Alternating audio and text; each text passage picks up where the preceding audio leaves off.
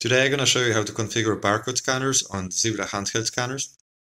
So the first thing which we have to do is just go into the DataWedge, all applications DataWedge.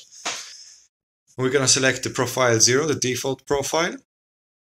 And uh, let's go from the top there. So we need to make sure the profile is enabled. The barcode input is enabled. Okay, hardware trigger is enabled. We configure scanner settings okay.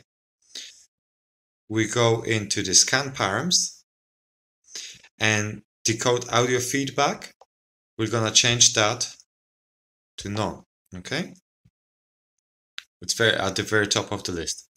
Click ok and you just go back okay? And go back once again. So on the main screen again so barcode input uh, we're just gonna scroll down to keystroke output.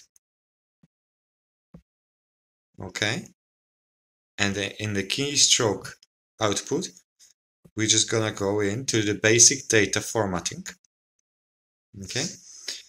And we're just gonna select send enter key.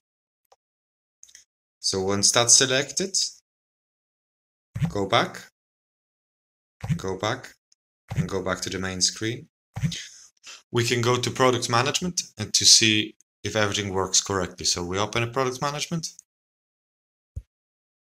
We go into the product section. And we just scan it. Perfect. It scans, it doesn't make any sound, and it hits enter at the end.